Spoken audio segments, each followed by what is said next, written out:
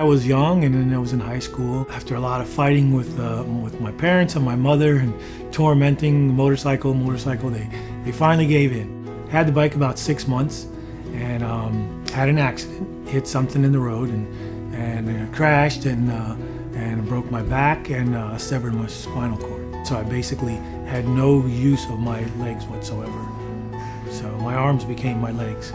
The years go by and go by, and doctors tell you, you know, oh, you never walk again. I got a call from the therapist, and she said, uh, you know, we have this uh, ReWalk. It's a exoskeleton robot. The robot's an exoskeleton, so it's pretty much like it provides the structure of his bones.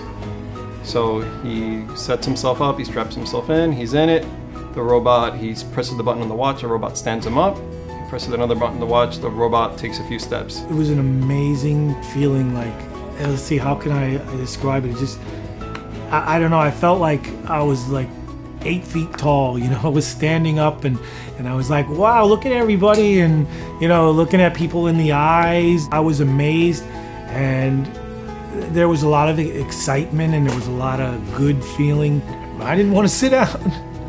you know, it was like, no, no, no.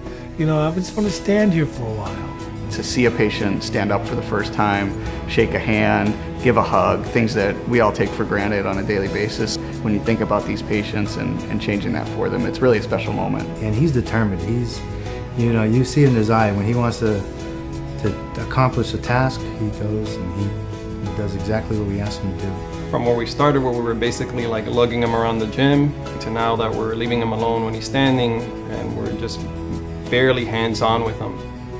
It's pretty incredible.